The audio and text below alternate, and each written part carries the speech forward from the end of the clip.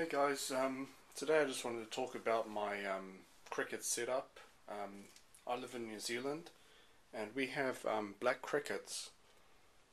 Um, basically, the setup that I've got at the moment is just um, it's just a box, a 60 litre um, storage box. I've got a, a wire going into it with a 100 watt light bulb. This, um, for the size of the container, this is enough heat to provide um, up to uh, 20 to 21 degrees, uh, which is on, there's like this thermometer thing here, you put on fish tanks normally. Um, that provides the correct temperature for the crickets to grow and reproduce um, in, a, in a, the best best range of temperature to be honest. Well, basically, um, it takes about a month. Uh, it could it can take a little bit less depending on the temperature for the crickets to grow from a, a baby to an adult at these temperatures. Uh, at the bottom, I'll just show you. At the bottom of the tank, I've got a, or at the container, I've got a layer of peat moss. It's about one and a half inches thick. It goes all the way around the whole container. The reason that I'm doing this is because I only bought 45 crickets and I wanted to make sure that I would have the most uh, the most room for them to lay their eggs. The reason for doing this is because if I had put them in a small box and there was only a small container for them to lay the eggs in, it would be a lot harder for them to find them. So at least in here, uh, with having so much surface area for them to lay in, it, they don't have to pick and choose or, or try and find the container to lay in, so they're going to be laying much more frequently. This is just to start with, so they'll lay the eggs everywhere and they'll all hatch, right? And then once they've hatched, I will put egg cartons in and then capture the babies that have hatched and put it into a separate container. But at the moment, for for what it is, it's it's the best setup that I've got for starter culture. Now, for the food, what I give these is it's just this.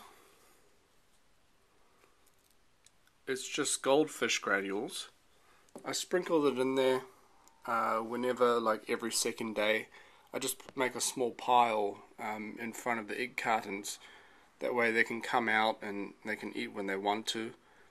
Um, also for the water that I give them, I have a big bucket of um, water crystals. I've added um, some some color to it so it's not just plain clear but it's just um, pretty simple so these um, water crystals are very cheap. I'd say I paid about oh, maybe two dollars for this container. They're just called uh, water storage crystals. Uh, what you do is you get them at the the nursery or wherever you buy plants and stuff from. It's usually quite cheap. They um, you add water to it. You put you can put food coloring in it to make it a different color, so it's not just plain white. Normally they're clear when they uh, swell up. So I do that, and then I put it in the bucket and just mix it with water. You just keep adding water until it stops absorbing. So as far as the inside of the container goes, I just use um, an old egg carton, um, some old toilet rolls. Um, yeah, just you put the put them in there, and they really like hanging out on them. They like to hide in there because it's um, hidden away from you know from from sight, and they don't they don't really like to be disturbed. They do prefer to um,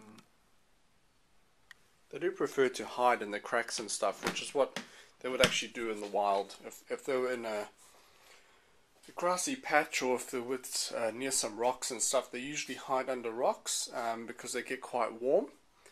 Um, and towards the end of the season, uh, when they, they sort of go into hibernation in winter, they hide under rocks um, in the wild and out of sight from people and stuff.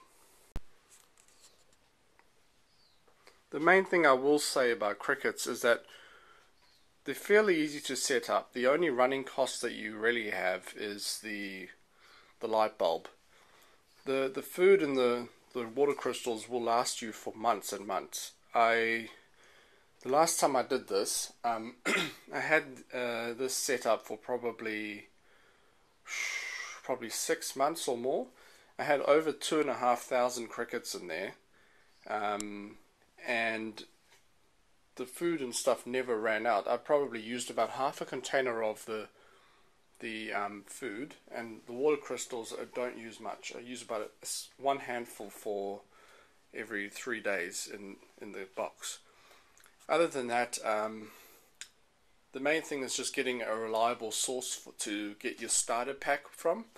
Um, I bought them online from somebody um, up north they sent it down and then I just yeah basically just started it like this. Um, yeah. Another option you have is you can also use um, food scraps from the kitchen. Uh, just don't put onions in there um, because they don't eat the skins but you can put most vegetables. Uh, just make sure that you keep an eye on it so that when it starts molding you remove it from the container um, I put banana in there, banana skins. Uh, they eat some of it. Um, yeah, mold is probably the biggest problem with when it comes to crickets. You want to make sure that you remove any dead bodies. Um, like if there's any dead big ones, you want to the skins that they shed. You don't really need to remove those because they they do eat the skin because it's protein for them. When they shed, they normally eat them straight away but sometimes they leave them lying around and you might think, oh damn, you know, oh heck, there's a, a dead one there. But if you look at it, it's just the skin, so it's nothing to really worry about. Um, like I said, they don't like to be disturbed, but they do come out. They do come out and eat every so often.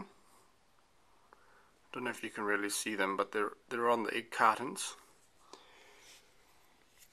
They like to spend time hanging out um, under this artificial sun and they like to chill inside the tubes. But yeah, it's pretty easy. I mean, it's very low maintenance. I, I don't. You don't ever really have to change the soil unless you're really worried about the smell. And that's another thing. If you are going to be concerned about the smell of the crickets, which can be quite bad depending on what you're feeding them, you you want to keep them out in a shed. I've got mine in this storage shed at my house, um, so it's not really a problem. Uh, but if you have them inside your house, it definitely will start to smell pretty bad. Um, there are solutions online of, of how you can solve that problem. I think it includes cleaning up and things like that. But as far as I'm concerned, they're animals and they should be outside. They, they smell pretty bad. Um, but yeah, if you have any other questions um, regarding breeding crickets, um, where to get them from, like anything like that, or, or any problems that you might be having with them, just uh, yeah, leave them below and I'll be sure to answer them. Thanks for watching.